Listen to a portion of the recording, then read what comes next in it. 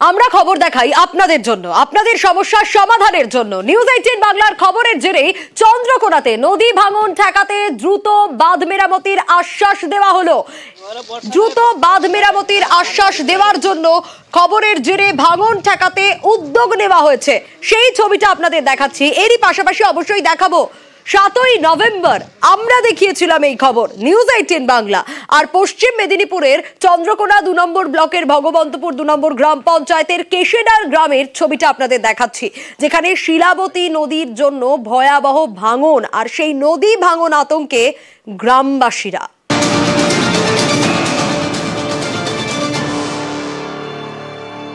আর যখন এই পরিস্থিতি তৈরি হয়, এই খবর আমরা দেখাই। তারপর প্রশাসন তৎপর হয়। খবর সম্প্রচারের পরই নড়ে চড়ে বসে প্রশাসন। গ্রাম পঞ্চায়েত প্রধান, উপপ্রধানকে নিয়েই ভাঙন পরিদর্শনে যান বিডিও।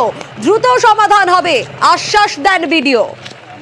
সুকান্ত রয়েছে আমার সঙ্গে। আরও বিস্তারিত সুকান্ত জানাতে পারবে এই বিষয়ে। সুকান্ত, আমরা খবর দেখিয়েছিলাম সাতই নভেম্বর আর তড়ি ঘড়ি তারপরেই ব্যবস্থা নেওয়া হলো।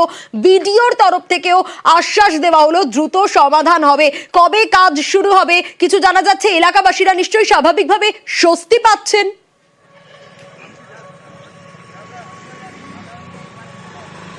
একদমই দেখো, বিডিও সাহেব পরিষ্কার এলাকাবাসীর সাথে কথা বলে যেটা জানিয়েছেন যে খুব দ্রুত তাদের যে দুশ্চিন্তা, সেই দুশ্চিন্তা দূর হবে। অর্থাৎ শিলাবতী নদীর যে বাঁধ যে বাঁধ ভেঙে গিয়েছিল, আমরা দুদিন আগে নিউজ এইটিন বাংলার পর্দায় দেখিয়েছিলাম যে কীরকম আতঙ্কে রয়েছে চন্দ্রকোনা দু নম্বর ব্লকের কেশাডাল এলাকা শিলাবতী নদীর পাড়ের মানুষজন, কারণ যে কোনো সময় তাদের বাড়ি কিন্তু শিলাবতী নদীর গর্ভে চলে যেতে পারে। শুধু বাড়ি নয়, রাস্তাও কিন্তু আস্তে আস্তে করে নদী গর্ভে চলে যাচ্ছে।